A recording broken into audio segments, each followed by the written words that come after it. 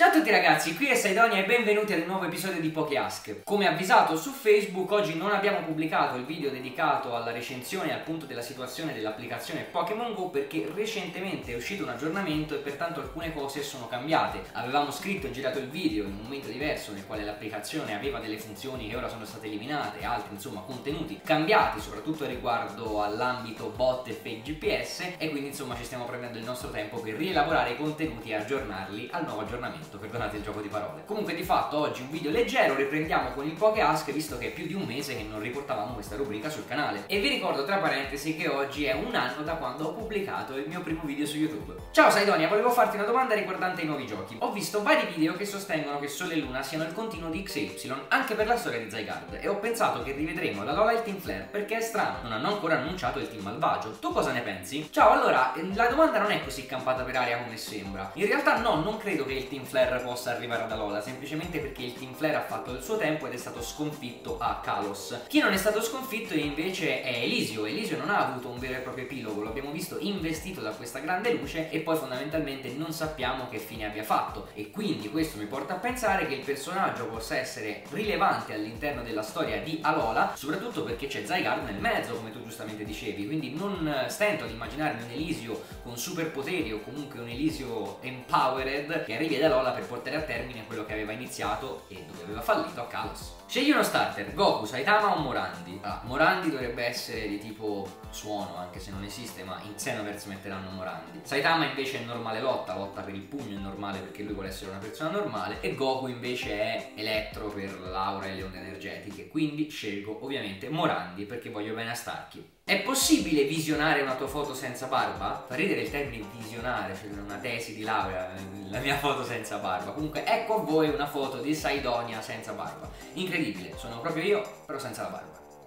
Ciao Saidonia, non ho nulla da chiederti in realtà. Volevo solo dirti che ho passato un bruttissimo periodo ultimamente, ma i vostri video mi hanno aiutato molto a sorridere e a reagire. Senza te e Chiara, a tenermi compagnia virtualmente mi sarei sentita molto sola. Mi avete salvato ragazzi, grazie. Ciao, innanzitutto mi fa piacerissimo sentire parole del genere perché significa insomma che i nostri sforzi servono a più del semplice intrattenimento, riescono magari anche a tirare su le persone in un momento più di difficoltà. E al riguardo vorrei dire una cosa, lasciarmi un commento che è da tanto che covo dentro. In molti si fissano fissano sul fatto che il canale di Pokémon Millennium abbia queste teorie chiaramente io stesso ho portato come format eh, su YouTube Italia, che devono essere per forza il centro di tutto quanto il mondo e allora la teoria è giusta e quindi Saidoni è bravo perché ci ha azzeccato e allora guardiamo come azzecca anche questa perché se non l'azzecca poi non va bene ma se l'azzecca è Dio sceso in terra e quindi andiamo dagli altri youtuber a dire che non sono bravi perché non fanno teorie che azzeccano come Saidonia. Ragazzi è molto più semplice, tutto quanto è molto più tranquillo. Noi qui ok stiamo facendo teorie ed è chiaro che le facciamo per avere ragione, insomma le facciamo per per azzeccarci. Però aver ragione o non aver ragione non è il punto del discorso, il punto del discorso è intrattenere. Sono video di 15-20 minuti che devono essere come le chiacchierate a ricreazione che facevamo con gli amici quando avevamo 12-13 anni e giocavamo a Pokémon. Sono comunque chiacchiere su videogiochi, quindi diamo a loro il peso che hanno. Vedo gente veramente infervorata con questa cosa delle teorie. Ci stiamo solo divertendo, ragazzi. Ciao Sedone e Chiara, volevo chiedervi se avete mai sentito parlare del tweaking glitch su Pokémon Diamante e Perla e se sì, hai intenzione di fare un video dedicato per la tua rubrica Poké Glitch? Un saluto da Takadox Eliagaug. Sì, conosco il tweaking glitch, se non sbaglio, e correggimi nei commenti se sbaglio, è quel glitch che si attivava con la bici in quarta generazione per praticamente percorrere dei punti non caricati di mappa che diventavano neri e poi portavano alle zone misteriose, delle quali peraltro se non sbaglio abbiamo parlato in un video di Poké Glitch. Comunque sì, lo ricordo e provai anche a utilizzarlo per raggiungere la ipotetica location di Darkrai che poi alla fine non si riusciva a raggiungere se non nei giochi giapponesi se non sbaglio e infatti poi abbiamo dovuto aspettare action replay e quant'altro per sbloccare l'evento di Darkrai prima del tempo. Ciao Saidonia, complimenti per i tuoi video e le tue teorie confermate. Volevo chiederti un parere sul futuro dei Pokémon. Secondo te è possibile che i giochi di settima generazione saranno gli ultimi della serie principale o che comunque chiudono una sorta di prima serie? Grazie in anticipo da Gianmarco Busso. Ciao Gianmarco, allora no, non credo che i giochi di settima generazione siano gli ultimi. Questo perché nonostante le varie teorie anche abbastanza arzigogolate che sono state pubblicate abbastanza ovunque, con tanto di canale internazionale che ha fatto oltre il milione di visualizzazioni con quel video teoria, penso che eh, la vita di un brand sia data semplicemente da quanto vende. Pokémon sta vendendo un sacco, probabilmente solo e Luna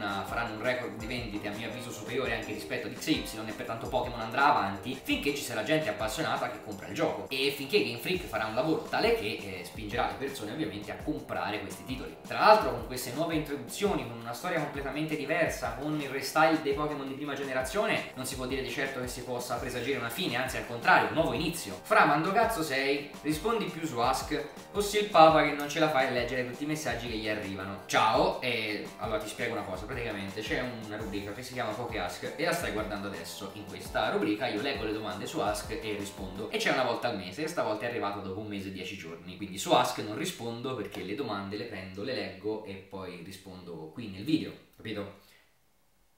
Eh. Come ti immagini sarebbe stata la serie animata Pokémon se fosse stata divisa per saghe, quindi Canto con Rosso, poi Yoto con Armonio, Owen con Brandon e così via? L'avresti preferita rispetto all'avventura infinita di Ash? Beh, che dire, non lo so. Non lo so perché mi sono allontanato dalla serie animata da anni ormai e mi ci sto riavvicinando solamente recentemente con tutto quanto il discorso di Ash che potrebbe vincere per la prima volta la Lega Pokémon. Sicuramente come personaggio Ash non è il massimo del carisma e non mi è mai piaciuto neanche da bimbo, c'erano altri personaggi personaggi della serie che eh, mi facevano divertire come appunto Brock. Quindi insomma non è un discorso propriamente di personaggio, non importa la fisionomia o il nome del personaggio, vorrei più che altro che Ash guadagnasse spessore a livello proprio di carattere nel corso della prossima serie animata, ecco. Ciao Saidonia, qual è il tuo primo gioco Pokémon e il tuo primo videogioco? Fesso chi legge. Ah. Ciao, allora il mio primo gioco Pokémon è stato Pokémon Argento, quindi ho cominciato dalla seconda generazione nonostante conoscessi Pokémon da anni, ma mi sono avvicinato per la prima volta al videogioco con la seconda. Il mio primo videogioco gioco invece è stato probabilmente Donkey Kong Country per Super Nintendo.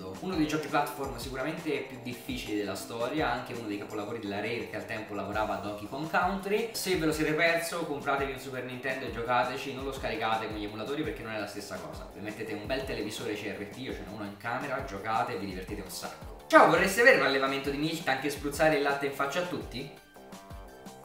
Pronto, si salve, vorrei subito utilizzare tutti i soldi del mio conto per comprare una fattoria immediatamente, non so come fare, non riesco a starci senza. Ciao Saidonia, ti seguo da poco, ma con le varie rubriche mi ha incuriosito moltissimo. Avevo una domanda a cui spero tu possa rispondere. È possibile inserire il professor Saidonia in ambientazioni diverse da Pokémon Xenoverse? Immagino serva il tuo permesso. Ciao, ovviamente si può inserire il professor Saidonia in ogni qualsivoglia tipologia di opera, basta che non sia, non so, una roba tipo un video su Pornhub, perché sarebbe particolare, ecco.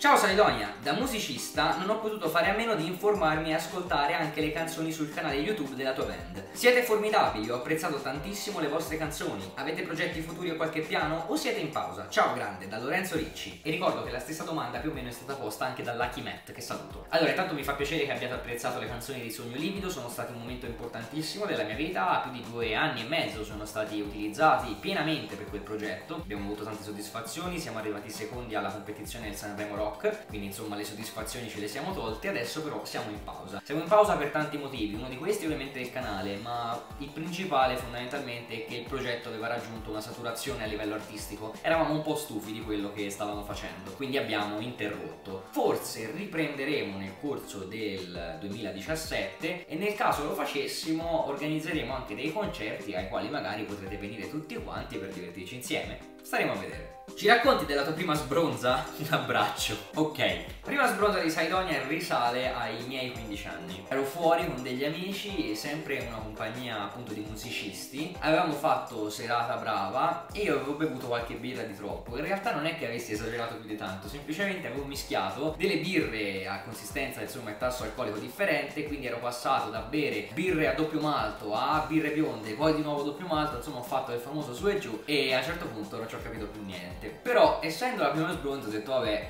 tutto tranquillo non succede nulla. Sono tornato a casa dei miei, sono andato subito a letto e ho detto vabbè adesso mi passa. Invece non sono riuscito a chiudere occhio, mi girava la testa, avevo la nausea, stavo malissimo. Il giorno dopo per non far sapere ai miei che mi ero sbronzato eh, andiamo tutti quanti a pranzo insieme fuori e io comincio a fare ai miei. Eh, sapete no vorrei, vorrei chiedervi delle cose ma tipo quando ci si sbronza poi è normale che la mattina dopo si abbia mal di testa, cose così. Ma non è che io mi sia sbronzato, cioè chiedo sì perché 15 anni potrà capitare. E tipo i miei che mi guardavano così, per dire, te, stai chiedendo, eh. Comunque sì, è normale, effettivamente stai, stai di schifo. E stetti di schifo. Eh, tutto il giorno postumi, poi insomma mi sono dato una regolata più o meno. Ciao volevo chiederti una cosa. La musica di sottofondo che usi nelle serie Poche Glitch è in qualche modo reperibile? Mi piacerebbe ascoltarla. Ho letto nella descrizione, ho visto che sei tu l'autore, bravissimo. Ciao, sì, ovviamente tutte le soundtrack del canale di Pokémon Millennium sono ascoltabili all'interno del mio SoundCloud che trovate in descrizione e ci trovate anche nel SoundCloud alcune soundtrack non ancora rilasciate di Xenoverse che potrete ascoltare per teorizzare magari eventualmente dove potranno essere riprodotte nel corso dell'episodio M. Nel bozzetto delle evoluzioni dei tre starter vicino ad Ibis c'è anche Ash con Pikachu. È possibile vedere Ash in Pokémon Sole e Luna? Ci scrive Francesco Zanoni. Ciao Francesco, eh, non credo che sia Ash, credo che sia rosso. Partiamo da questo presupposto. Potrebbe essere un placeholder. Ho risposto a un commento del genere anche sulla pagina Facebook di Saidonia. Rosso viene utilizzato dai tempi dei tempi come placeholder per qualsiasi tipologia di allenatore protagonista. Quindi potrebbe essere semplicemente un disegno messo lì a caso per far capire che accanto al protagonista c'è un personaggio XY, come Ibis in questo caso. Però credo che possa essere rosso più che altro perché il modo in cui è vestito il cappello non mi sembrano quelli di Ash. Tra l'altro vi ricordo che nel bozzetto della fontana che abbiamo visto di quell'hotel mastodontico presentato nel primo teaser di Sole e Luna, avevamo adocchiato un personaggio molto simile al rosso e visto il grande collegamento tra Sole e Luna e la prima generazione, potrebbe esserci un ritorno nella trama di questo personaggio. Ciao Saidonia, quest'anno sarei presente a Luca Comics and Games, ci scrive Are You Serial? Sarò presente a Luca Comics and Games, ma non so ancora se semplicemente come spettatore, insomma come persona pagante, oppure come ospite. So che ci sono delle cose in ballo di cui ancora non vi posso parlare, ma se queste vanno in porto vi assicuro che sono grandi, grandi, grandi. Pensi che farai altre rubriche inerenti alle lotte o ti fermerai agli speciali VGC e Dan Battle? Ciao, credo di fare una guida al competitivo, l'avevo in progetto da tempo, ma con Sole e Luna, avendo fiutato uno stravolgimento del battling, sarebbe assurdo fare una rubrica adesso, spenderci tempo e fatica e soprattutto anche per voi spiegarvi delle cose che da un giorno all'altro potrebbero cambiare. Magari io vi spiego come si brida un Pokémon e in Sole e Luna si brida in un altro modo. Credo invece che con l'uscita di Sole e Luna una delle prime rubriche, a parte il gameplay, sarà proprio quella sul competitivo. Così tutta quanta la community italiana, o meglio quella che segue il canale di Pokémon Millennium, entrerà subito nell'ottica di come è il competitivo. Mi dispiace vedere le persone che rimangono indietro, magari alla seconda, terza stagione di un competitivo, cominciano a chiedersi come funzionano le cose. Cerchiamo di stare tutti quanti in pari stavolta. Beh ragazzi, che dire, oggi abbiamo chiuso con le domande e abbiamo fatto anche il racconto incredibile della sbronza. Come sapete in fondo alle puntate di Pokéask c'è sempre Chiara, però stavolta Chiara ha i capelli raccolti talmente male perché si è svegliata da poco che sembra tipo Senshiryu versione Alola e quindi non si vuole far vedere. Quindi saluta il nostro pubblico facendoci sapere che sei ancora viva. Sì, sono ancora viva, ma tu dopo questa registrazione probabilmente non lo sarai. Tu hai le tue battutine simpatiche. Io vi ricordo che potete scrivermi le domande per la prossima rubrica sia su Ask che nei commenti di questo video. Inoltre, se la mia sbronza vi è piaciuta potete mettere